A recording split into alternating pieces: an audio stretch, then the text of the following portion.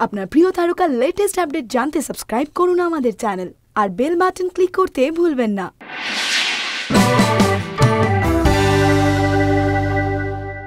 রাজ চক্রবর্তী পরিচালিত চ্যালেঞ্জ কিংবা রাজা চন্দ পরিচালিত চ্যালেঞ্জ টু দুটি সিনেমাই প্রডিউস করেছিল শ্রী ভেঙ্কটেশ ফিল্মস দুটি সিনেমাতেই নায়ক ছিলেন টলিউডের সুপারস্টার দেব। সেই দেব আজ শুধু নায়ক নন, তিনি প্রডিউসারও কিন্তু সেদিনই সেই চ্যালেঞ্জ টু এর সুপারহিট গানটি কি শোনা যাচ্ছে? দেব এবং শ্রীকান্ত মহতার মাঝে। গানটির নাম চ্যালেঞ্জ নিবি না শালা।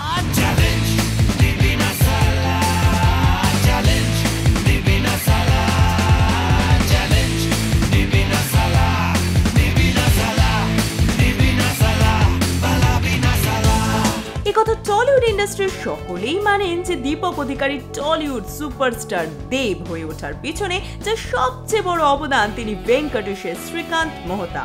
শুধু দেবকে টলিউড সুপারস্টার বানানোর কারিগরই নন, দেবের রাজনীতিতে আসার পিছনেও মূল ভূমিকা শ্রীকান্ত। সেই নির্বাচনী লড়াই জিতেই সাংসদ হয়েছেন দেব। বেড়েছে ক্ষমতা, প্রভাব, প্রতিপত্তি। নায়ক থেকে প্রডিউসার বনে গিয়ে ইতিমধ্যে প্রডিউস করেছেন চ্যাম্প কিন্তু তার জন্য মোটেই দূরত্ব তৈরি হয়নি তার সঙ্গে মণি শ্রীকান্তের। বরং চ্যাম্পে গেস্ট অ্যাপিয়ারেন্স হিসেবে অভিনয় করেছেন মণি এবং শ্রীকান্ত। তাহলে কি এমন ঘটলো যে দেব প্রযোজিত দ্বিতীয় ছবি ককপিট রিলিজকে ঘিরে সংঘাতের বাতাবরণ তৈরি হলো তার সঙ্গে শ্রীকান্ত মহতার? বিষয়টার সূত্রপাত পুজোর রিলিজকে কেন্দ্র করে। এবার পুজোয় যে পাঁচটি বাংলা সিনেমা রিলিজ করার কথা, তার মধ্যে ছিল না ককপিটের নাম, বরং সেই পাঁচটি সিনেমার মধ্যে সব ভূতরে বলডুগ্গা মাইকি এবং ইয়েতে অভিযান তিনটি সিনেমায় এস প্রযোজিত। বাকি দুটি ফিল্মের মধ্যে রয়েছে বোমকেশ ও অগ্নিবার এবং প্রজাপতি বিস্কুট। কিন্তু সপ্তাহ তিনেক আগেই দেব জানান তার আপকামিং মুভি ককপিট রিলিজ করবে বাইশে সেপ্টেম্বর। আর ঠিক এরপর থেকেই শুরু হলো পরিস্থিতি উত্তপ্ত হয়ে ওঠা। কারণ হলো দখল। এতদিন বাংলা ফিল্ম ইন্ডাস্ট্রিতে ভেঙ্কটেশের রংবাজির সবচেয়ে বড় কারণ ছিল পশ্চিমবঙ্গের তিনশোটি হলের অর্ধেকেরও বেশি হলে তাদের প্রতি অন্ধ আনুগত্য। কিন্তু দেব আজ আর শুধু সুপারস্টার নন, মমতা বন্দ্যোপাধ্যায়ের স্নেহধন্য সাংসদ। তাই নিজের ককপিটের জন্য যত বেশি সম্ভব হল বুক করতে মরিয়া তিনিও। ঠিক এই জায়গাতেই শুরু হয়েছে শ্রীকান্ত মহতার সঙ্গে তার সংঘাত।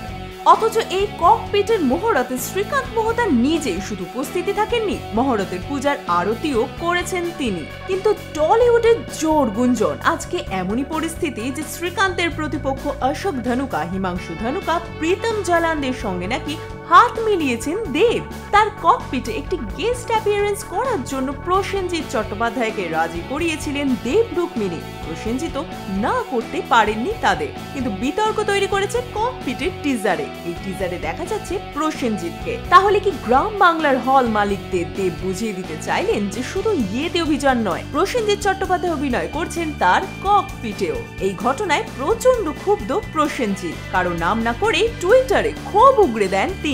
কিন্তু দেবের বক্তব্য তিনি জানেনই না বোম্বাদার বিরক্ত হবার কথা। প্রয়োজনে বোম্বাদার কাছে ক্ষমাও চেয়ে নেবেন তিনি।